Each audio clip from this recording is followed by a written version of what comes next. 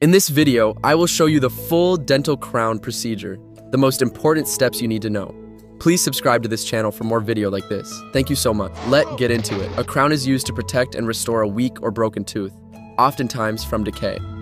Or dental bridges in place, covering dental implants, following root canal therapy and cosmetic modifications, such as covering misshapen or discolored teeth to improve their appearance, can be fabricated in either your dental office for one appointment visit or some offices choose to have them fabricated in a dental lab, which would make it a two appointment visit.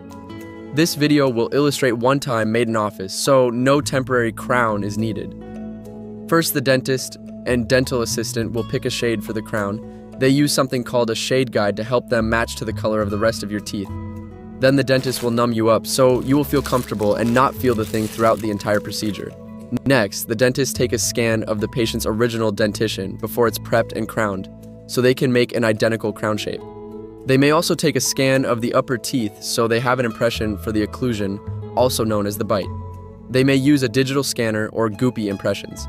It's time to prep the tooth. It is similar to a cavity filling procedure. The decay needs to be drilled out of the tooth. Once all of the decay is removed, then they will prep the tooth for the crown. They shave down the tooth into a shape that will allow the crown to be a cover or a cap right on top of it.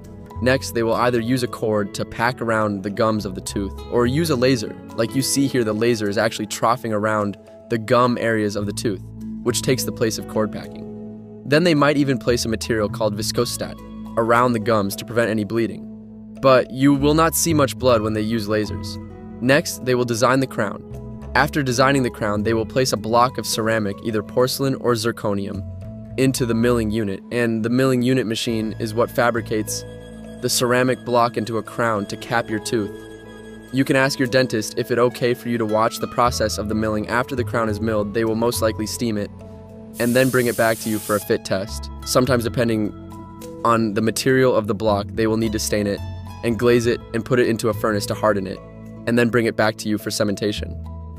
The last step before physically capping of the crown on your tooth. The crown needs to be prepared by etching it, rinsing it, and priming it and the tooth needs to be prepared as well for the bonding.